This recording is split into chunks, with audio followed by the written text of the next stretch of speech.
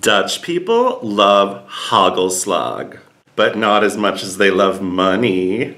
Hagelslag is basically like chocolate sprinkles. So Dutch people, especially kids, will like have it for breakfast on toast. Ah yes, we love the hagelslag. Personally, I'm more of a Nutella man. But I had nothing against the hagelslag until one day.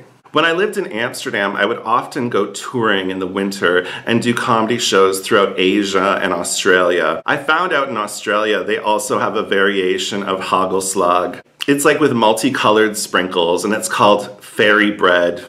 My Australian friend was putting it on his toast, and I was like, Oh, you guys have hagelslag in Australia? Yeah, mate, that's called fairy bread, you fuck. So I was doing a show in Jakarta, Indonesia, at the American Embassy, and there was this really awesome Indonesian comedian who was performing with us. We were staying at the same hotel, and in the morning, we ended up having breakfast together. There was this beautiful buffet with lots of food, and so we're sitting down, and the guy says to me, okay, so in Indonesia, we have this thing. It's like really typical Indonesian. Like it's just so Indonesian.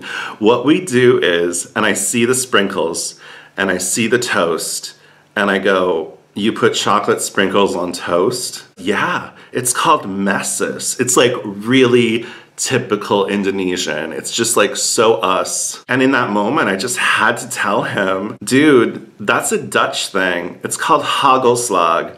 Don't you guys realize you used to be a Dutch colony it's Dutch, it's not Indonesian. And the look of horror on his face. No, what are you talking about? That's our thing. That's our thing. No, man, come on. Wikipedia that shit. Look, it's Dutch. It's Dutch. It's called Hagelslag. And as he was scrolling through the Wikipedia, it was like his whole sense of national identity had just fallen apart and I kind of loved it. It was like I was this evil Dutch colonialist in the 18th century.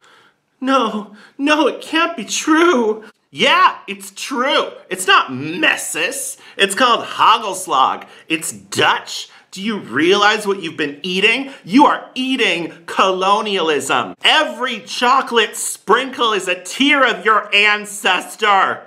You have been eating their tears.